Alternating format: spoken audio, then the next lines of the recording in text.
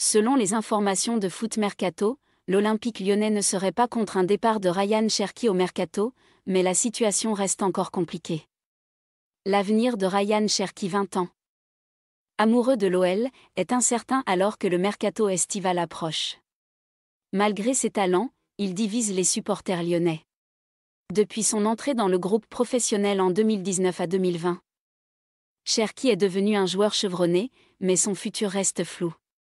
Bien qu'il ait été proche de plusieurs clubs, dont le Paris Saint-Germain en hiver 2023, l'OL pourrait le vendre pour renflouer ses caisses À un an de la fin de son contrat. Estimé à 25 millions d'euros, il a été proposé à plusieurs clubs anglais, dont un duo de tableau de la Premier League Tottenham ou Chelsea selon la presse britannique. Impressionné mais hésitant à cause de sa réputation. Cherki, qui a récemment multiplié les déclarations laissant penser à un départ, a offert des bagues à ses coéquipiers formés à l'OL. Ressemblant à des cadeaux d'adieu. Toutefois, une vente n'est pas son souhait, vu son salaire élevé environ 320 000 euros par mois que peu de clubs peuvent offrir. Rester un an de plus à Lyon pourrait augmenter sa valeur Surtout avec la Ligue Europa en vue, bien que l'OL ne souhaite pas le céder gratuitement l'année prochaine.